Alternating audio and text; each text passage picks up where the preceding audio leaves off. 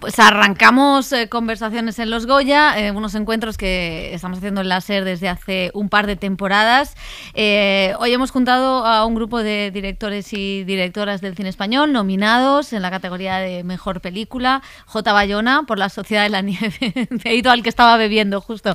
¿Qué tal? ¿Cómo estás? Muy bien. Sigo por ese lado, Estival Turresola, 20.000 especies de abejas. ¿Qué tal? ¿Cómo estás? Muy bien, muy contenta. Y me voy al otro ala de la mesa, Isabel Cochet.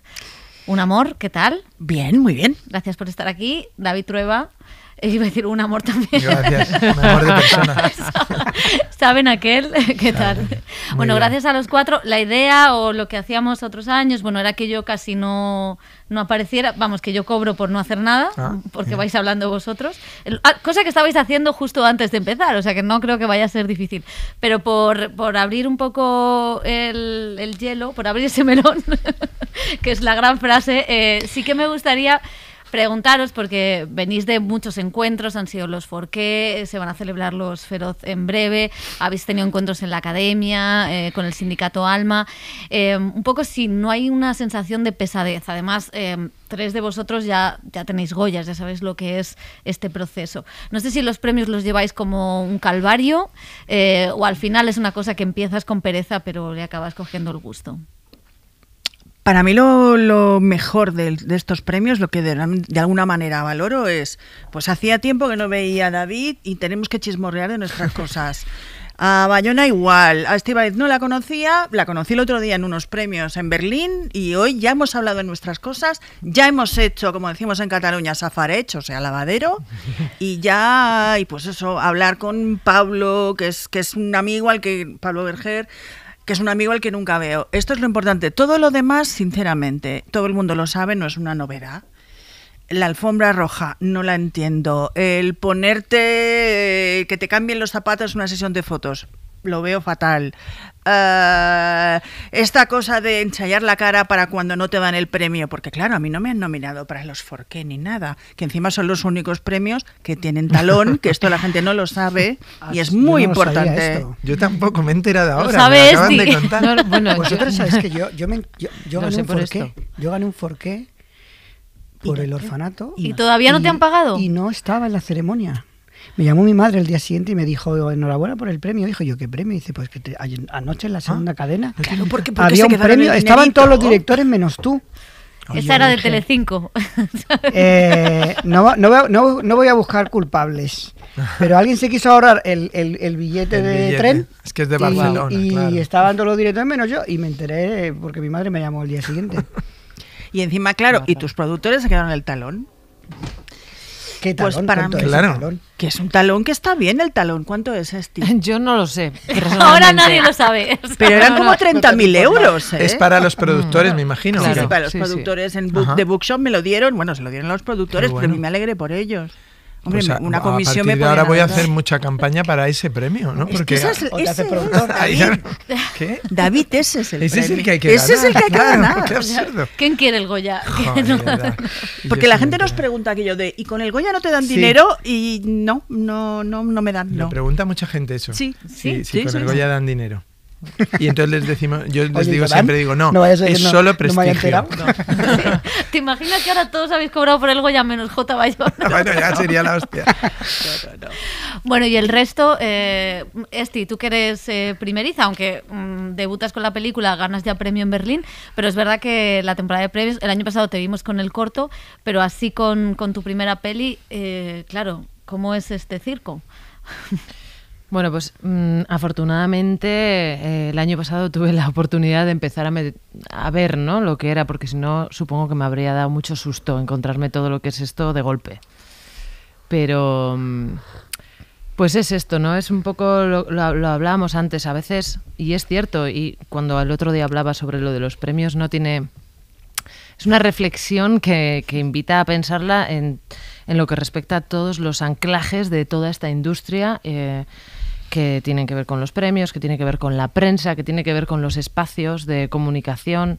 em, que normalmente solo estamos nosotras, nosotros los directores, pero que si realmente lo que queremos e- es hacer una celebración del cine, el, cine lo hacen muchas personas y todas estas personas en realidad no tienen esa representación ¿no? Y, y no tienen ese lugar para hablar de su trabajo, para poner en valor todo lo que hay detrás de una película.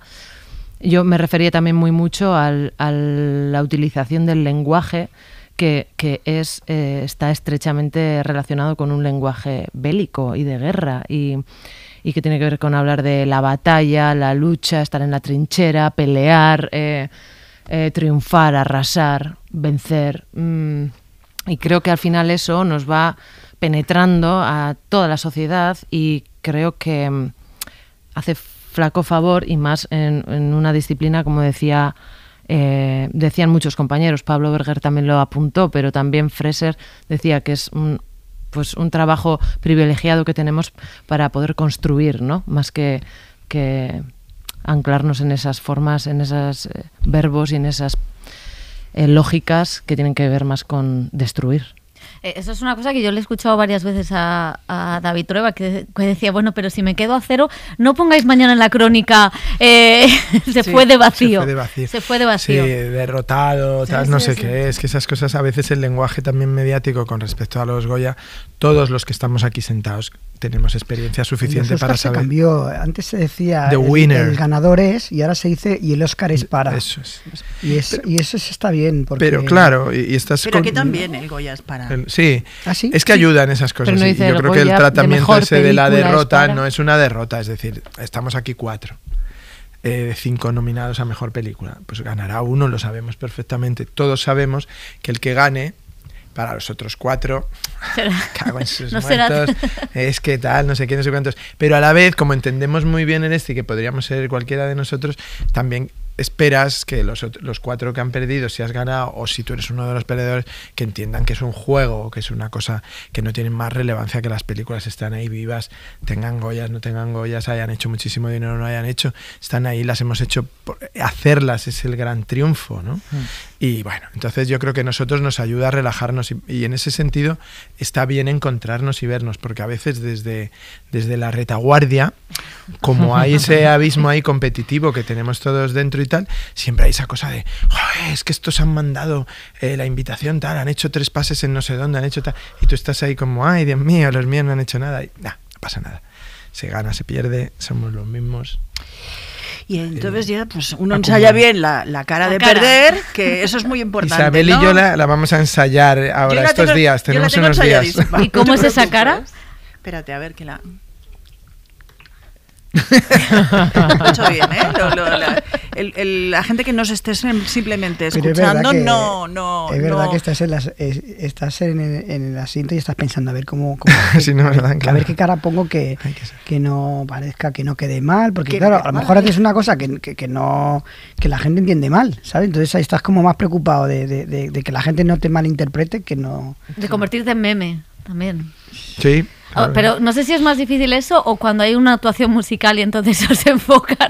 Es más difícil ahí la cara que hay que poner que cuando llega el premio, porque las galas también. No, son la- lo peor no suelen ser las actuaciones musicales, sino los chistes, que a veces sí te enfocan ahí.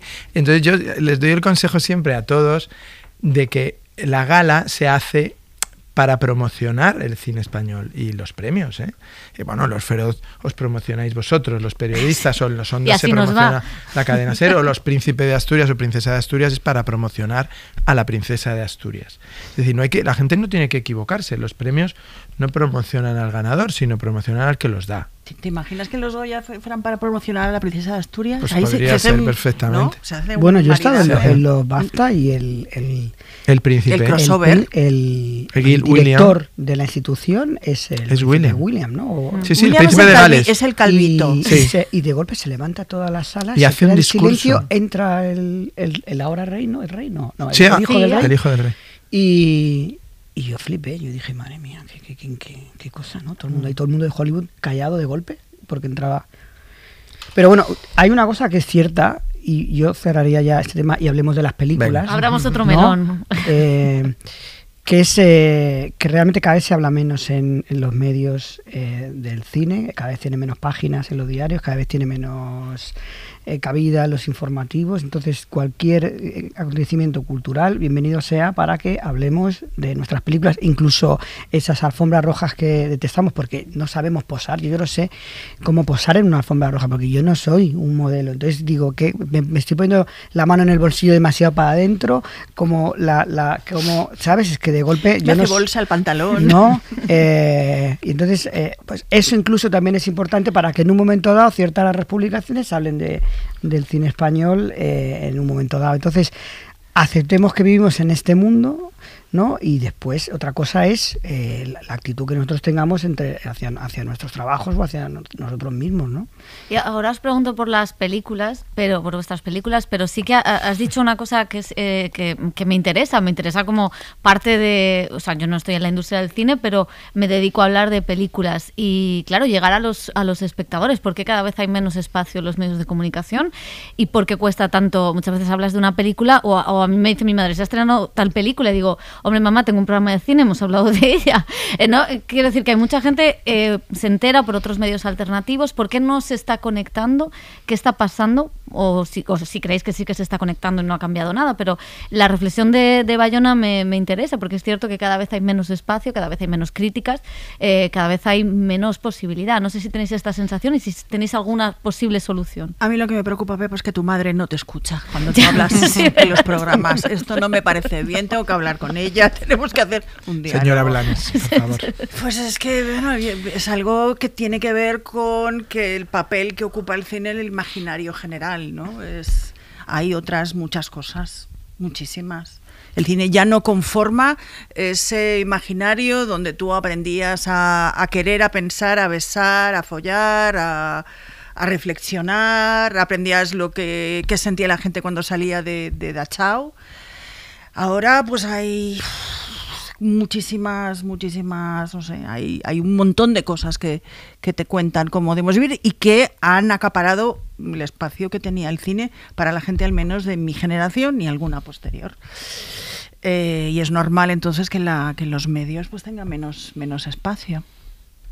No, yo creo que cult- la cultura, ¿eh? o sea, no solo el Hmm, cine, la cultura y el arte están perdiendo el hueco en la sociedad porque, bueno, eh, hay un negocio en las otras cosas que es, que es desatado y es, es brutal.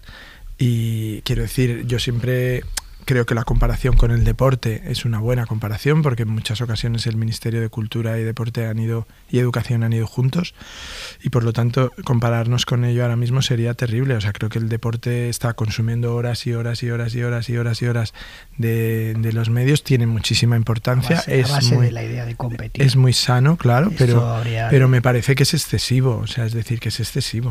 O sea, realmente que cuando nominan a una película española al Oscar no sea portada, portada de, los, Mm. de todos los periódicos, y que lo sea cualquier trofeo que gana cualquier español mucho menor y de mucha menor importancia, es portada el lunes eh, o el día que sea en todos los periódicos, a mí me parece digno de hacérselo estudiar. O sea, es un poco loco y no tengo absolutamente nada contra los deportistas. Además, algunos son hasta amigos míos que piensan lo mismo que yo.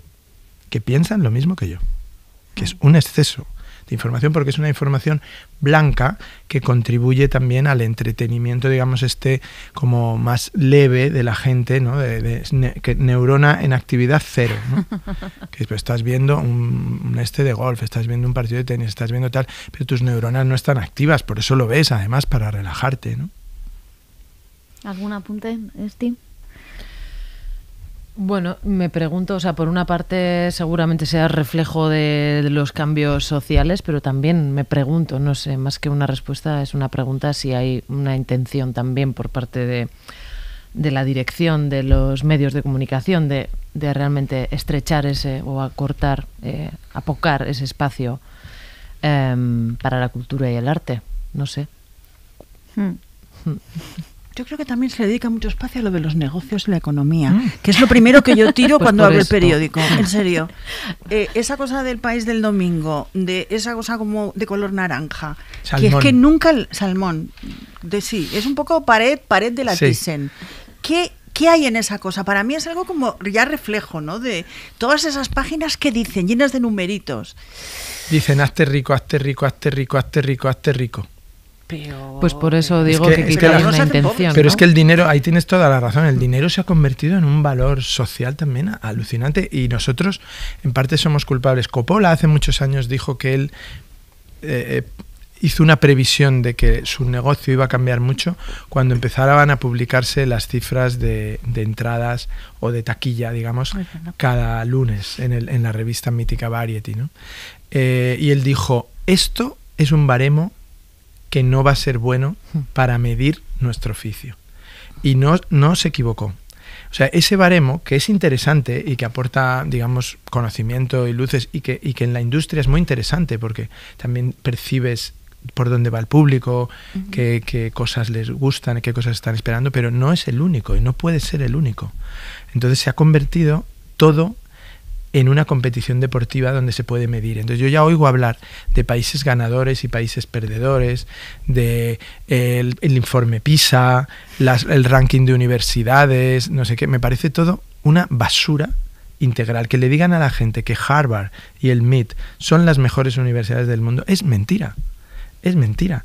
Lo que tienen es un presupuesto brutal, una cantidad de profesores comprados, de, de horas de, de, digamos, de, de publicación, de tal, que no se puede permitir la Universidad Complutense ni la UB, que son eh, eh, universidades excelentes, pero que en ese ranking no van a aparecer nunca por encima del 200, porque los, los propietarios que somos las sociedades de esas universidades no tenemos fondos para colocarlas más arriba, pero el trabajo que hacen es fundamental. Entonces, Coppola acertó y creo que nosotros no hemos sabido sacudirnos esa competición, o sea, esa clasificación deportiva constante sobre mundos que no tienen por qué medirse con, con baremos deportivos. Pues y sobre- eh, también hay una cuestión de la cómo se han transformado los modos de entretenimiento. ¿no? Es decir, ahora vivimos una época donde todo es ligero, todo es inmediato, todo es indoloro. Eh, yo recuerdo cuando era un crío esperar con ansiedad el estreno una película, hacer cola, verla en la pantalla grande con un montón de gente y hablar de ella. Eso le da, el- la espera le da un valor pero cuando lo tienes todo al momento, eh, al final no ves nada. Y luego ves a los chavales que están todo el día, que está muy bien, lo hablábamos antes, el TikTok, Instagram, está, está muy bien pasar un rato, pero cuando los ves constantemente pasando el dedo arriba y abajo en algo que no queda, que no queda, que no tiene peso, ¿no? Eh, todo, es, todo es ligero, nada tiene peso, pregunte, pregu- me pregunto yo, que cuando, si algún día vuelvo a dar clase en la escuela de cine, ¿qué tipo de alumno me va a llegar? Porque llegan alumnos que no saben eh, realmente un- básicos de cine. Dices tú, llegas a una escuela y, y dices David Fincher y no sabes quién es. No sabes quién, la- el alumno no sabe quién es, no ¿no? Y dices tú, eh, pero entonces ¿por qué hace cine? Si no has visto cine, ¿no? Eh, entonces ahí es donde yo creo que hay que empujar, ¿no? Hay que empujar de la manera que podamos nosotros, de la mejor manera posible, para, para en la medida de lo poco que podemos, educar al público. El, el mando a distancia es una herramienta poderosísima. Cualquier padre que tenga un hijo es, es una herramienta que la tiene, a- la tiene a mano para, para influir en el futuro de sus hijos. Entonces, ahora me estoy poniendo un poquito abuelo. No, no, no. Y, ce- y abuelo cebolleta también, ¿no? Me he puesto un poco, pero es verdad, ¿no? Es decir, eh, eh, yo tengo una sobrina que eh, quiere ver ahora un montón de películas que si no hubiera estado conmigo, pues no la vería, ¿no? Y, Mm. y pues eh, ahí es donde yo creo que podemos nosotros influir un poquito. Y va- vamos a hablar de, de vuestras pelis porque, bueno, es cierto que, que las cinco nominadas son, son películas muy, muy diferentes, que proponen cosas o miradas del mundo muy complementarias. Eh, supongo que esto refleja, pues, eh, bueno, que por fin, o, que- o no sé si por fin, pero bueno, que el cine español tiene cierta diversidad o está cada vez más diverso. Empiezo por Bayona, ya que estábamos, eh, claro, en La Sociedad de la Nieve, no sé si hay un intento o cuál era la idea, contar una historia de superación con otros, mm, desde otro relato, mm, quitando el relato hollywoodiense, el relato del heroísmo. Claro, hablando de perdedores, ¿no? Y esta es una película centrada en, en- en- los perdedores, los que no tuvieron páginas en la prensa cuando llegaron de vuelta, los que realmente no llegaron para contarlo. Y aquí hay una cosa que a mí me gustaba mucho de la historia, que es esta idea de, volver para contarlo, pero tú, tú, tú me vas a contar a mí. No, yo voy a hacer posible que tú lo cuentes y, tú me vas a contar a mí. Es un poco lo que hemos hecho en esta película, ¿no? Pedirle a estas personas que llevan 50 años hablando de esta historia que hablen de los, de los que no lo consiguieron. Y ha sido, fíjate, ha sido algo para ellos casi sanador, ¿no? Porque cuando leía el libro de Bierzi había como un dolor ahí, como una, como una culpa que no la expresaban abiertamente, estaba entre líneas.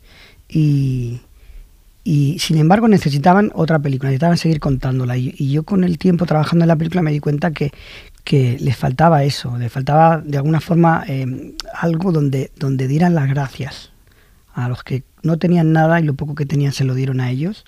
Y ahora es muy bonito, ¿no? Cuando veo la película con ellos y la he visto también con, con las familias de los fallecidos, que claro, para ellos es muy sorprendente, ¿no? De, de haber visto dos películas que se habían hecho antes en donde le cambiaban el nombre a su hermano o a su padre o a su hijo a, ver una película que, que, se cuenta desde el lugar de, ese, de, de, esas de, esas personas que fueron tan importantes, es una manera también de reivindicar esta, esta historia de, de luchar contra este relato de los ganadores y, y, del heroísmo entendido desde esta cosa machirula del guerrero.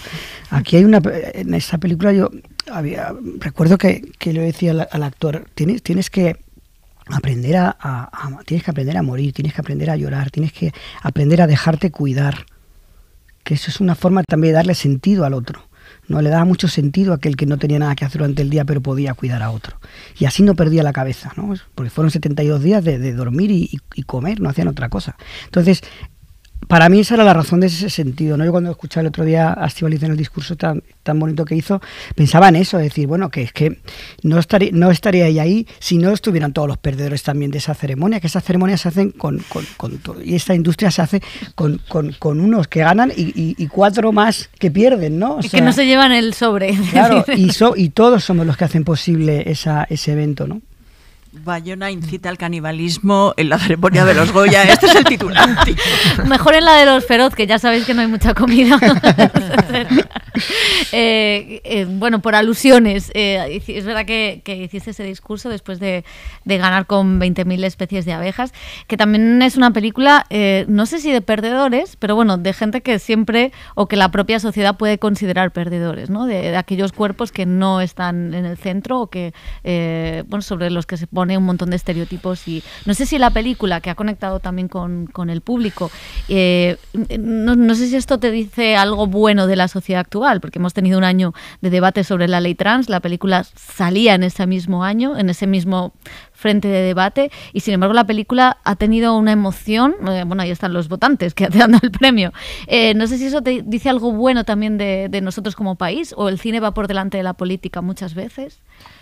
Yo siempre digo que estaba preparada para lo peor. O sea, cuando estaba escribiendo la película pensaba, me van a llover de todas partes, esto va a ser una película de nicho para la comunidad y, y me ha sorprendido muy gratamente de ver eh, la recepción que ha tenido, pero eso es gracias a que en la sociedad en paralelo se estaba produciendo ya eh, un diálogo, un acercamiento entre instituciones, asociaciones, familiares, militantes, agentes políticos para ir generando ese diálogo que ha terminado culminándose, además no por casualidad, en una ley que se aprueba eh, la misma semana que nosotras estrenamos mm, la película en Berlín. Berlín. Todo al mismo tiempo. Entonces, yo creo que el cine es eh, va de la mano de, de los cambios sociales. Eh, puede ir delante a veces, pero lo más normal es que sea un reflejo y que, y que porque somos al final simplemente otro agente dentro de esta sociedad. Y,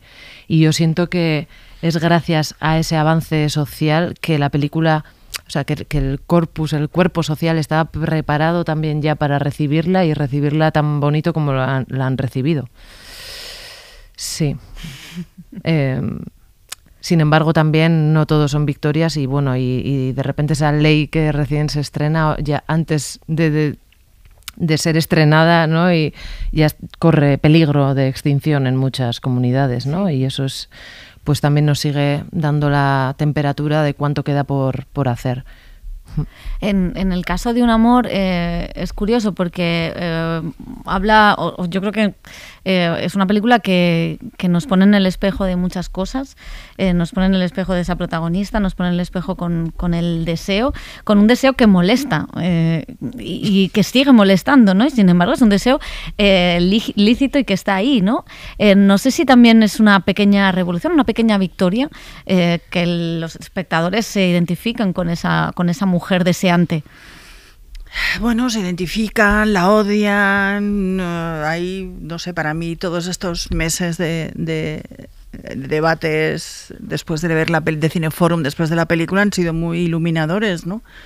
Y es verdad que a veces, no sé, mm, eh, he escuchado cosas sobre, sobre muy de, espectadores que juzgan a la protagonista, ¿no? Evidentemente, cuando yo leí la novela, yo no, yo no juzgué a Nat. Para mí, Nat es, bueno, una mujer que no, es que no es ni, ni, eh, ni una perdedora, ni una heroína, ni nada. Es una mujer, bueno, con contradicciones, una mujer profundamente imperfecta, eh, como yo diría que él, eh, como todo el mundo.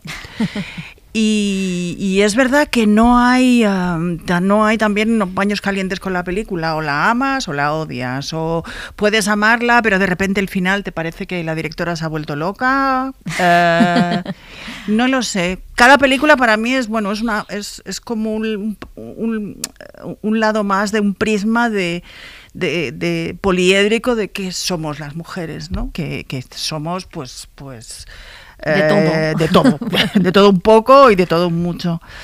Es verdad que mm, yo tampoco, claro, yo cuando Sara Mesa me dijo lo de, no, vas a hacer una película sobre el personaje más odiado en la literatura española contemporánea, a mí me pareció un chiste, no, no entendía lo que me decía. Es verdad que luego lo he visto, he visto pues gente como casi peleándose en el cine por, por defendiendo algo que dices, pero si esta mujer lo, lo único que quiere es que alguien le dé un abrazo, si es que tampoco no está aspirando a cambiar el mundo, no está aspirando a, a ni siquiera que la, que, que- que la amen apasionadamente, solo quiere un abrazo, alguien que la escuche un poco, ¿no? Y eso que parece tan simple, pues no es tan, no es tan obvio y sobre todo, eh, si hay algo que me gustaría que la gente se llevara con la película es, bueno, pues si no hay nadie que te abrace, pues tendrás que abrazarte tú misma Mm. y bailar. Y bailar, por supuesto. Siempre bailar. Siempre bailar. Sí, por favor. Por favor. bailar y comer no tortilla como la que os he puesto. De- en, en Saben Aquel hay muchas ideas interesantes, hay una historia de amor eh, preciosa, pero hay, eh, hay una cosa que además yo creo que tiene que ver con, contigo, lo poco que te conozco, pero sí creo que, que es esa fuerza del humor ¿no? para salir adelante como refugio, que también es el cine como refugio de alguna manera, ¿no? Que eso sí que es, no sé si era una de las cosas que tú o que te había impactado más de, eh, de la historia de Eugenio. Sí, o sea, a, a la hora de hacer la película sí que, que vas encontrando, digamos, la senda por la que puedes hacer una película tuya, ¿no? Y una película que cuente cosas que a ti te interesan, ¿no? Y en ese sentido, yo encuentro algo en lo que me siento identificado en el retrato de la vida inhóspita, en, los golpetazos impresionantes que, le puede dar a una persona la vida y al mismo tiempo esa capacidad eh, inmarchitable de muchas personas de salir adelante y de encontrar eh, un- una razón o un refugio en, en sí mismos, en, en el, en el proyecto a veces eh, pues laboral o vital, en, por supuesto la promesa de que más allá del camino donde ha habido una desgracia puede haber una cosa buena, ¿no? Y en ese sentido un humorista no, se, no está tan lejos de nosotros, ¿no? Y una, y una aspirante a cantante que fracasa, que es la mujer de, de Eugenio, ¿no? El- el- los vasos comunicantes del fracaso y del éxito están están, como la propia frase dice, comunicados, ¿no?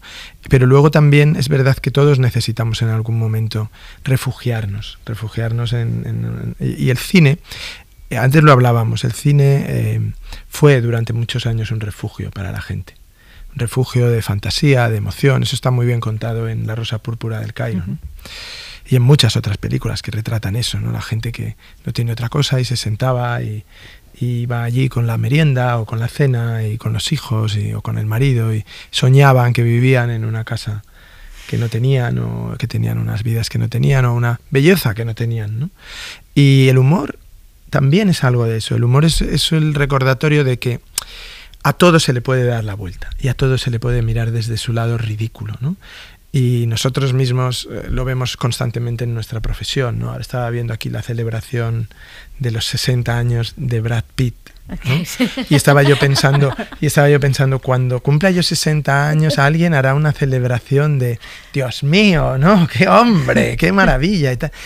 Es, es muy ridículo toda, todo el mundo. Entonces el humor lo que hace es bájate los humos.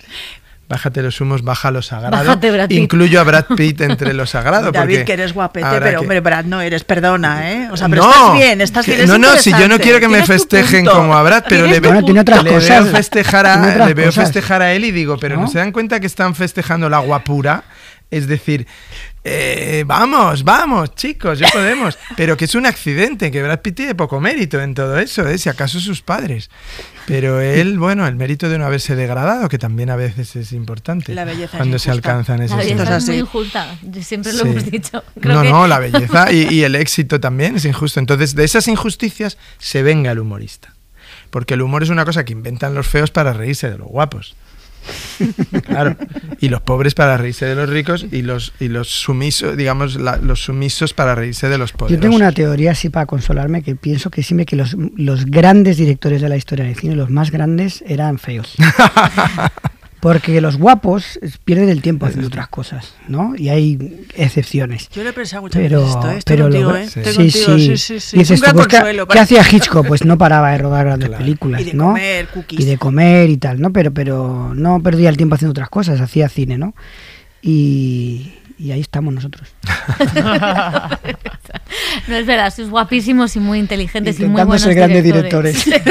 Intentando ser grandes directores, efectivamente. Hay una cosa que, que tenéis en común, eh, que tienen en común los trabajos de este año, el- vuestros tres, eh, el de Isabel un poco menos, eh, porque habéis lidiado con gente. No, ahora explico por qué no me mires así. Porque habéis lidiado con gente, co- con, las personas reales. O sea, tú has trabajado con varios colectivos, con familias, tú has estado con los supervivientes y tú has tenido que, que tratar con, con los herederos o los hijos de, de- de Eugenio.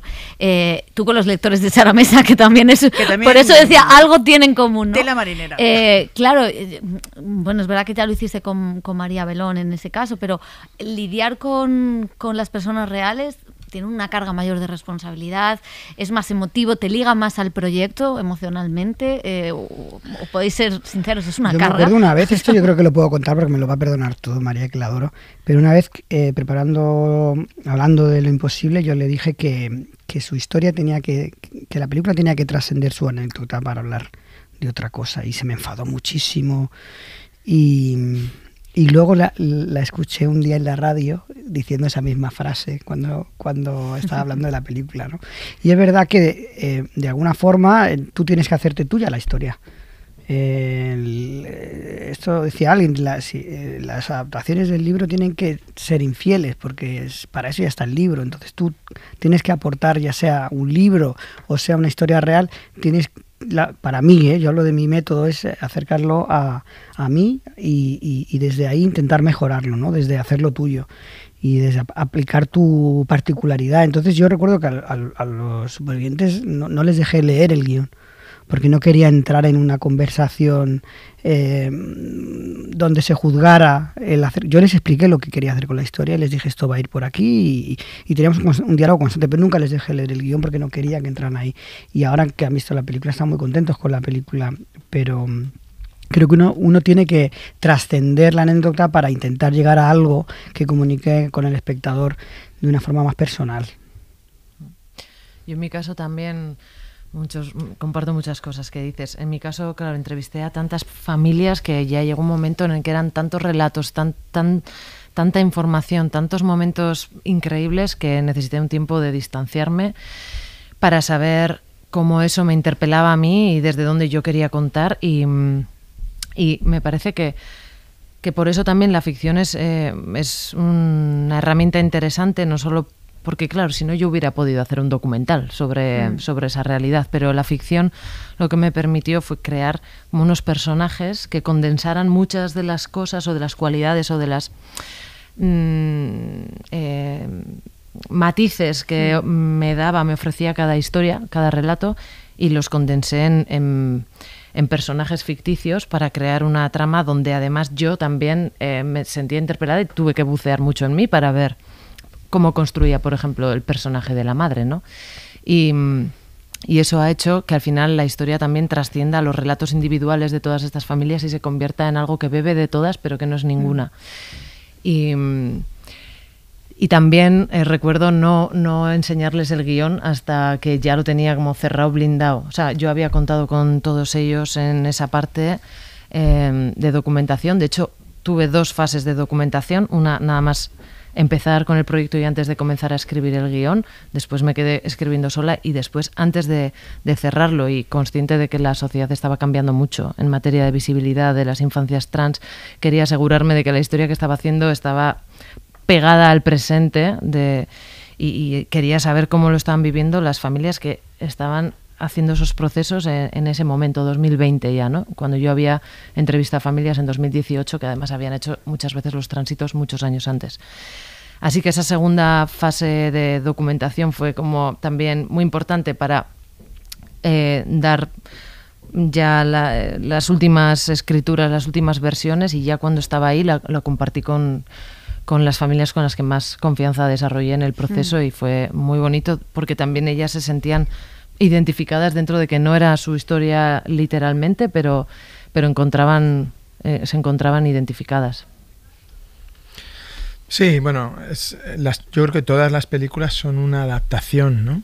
Eh, tú tienes que, que, generar una... Lo que importa es no de dónde sale una película, sino a dónde llega tú lo que entregas a, las personas es tu lectura, digamos, o tu, tu, impresión o tu expresión sobre algo de lo que has estudiado o has tratado. Entonces, cada una tiene un origen y casi todas, obviamente, el origen es la realidad es algo que ha sucedido en la realidad. Incluso las películas que llamamos de ficción son películas que adaptan experiencias o personales o experiencias conocidas o imaginadas, proyectadas. Entonces, lo que quieres llegar es a, la, a esa expresión final que es tuya y es donde tú te encuentras como, como la, persona que media entre el espectador y la historia para decir, es así la que yo te quiero contar.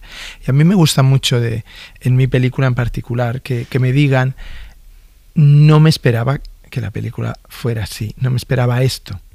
Porque en el fondo es la misma sensación que tuve yo cuando me lo propusieron por primera vez, lo de tratar el personaje. Yo dije, pero ¿para qué voy a hacer una película sobre eso si ya está ahí Eugenio contando chistes en YouTube, ¿no?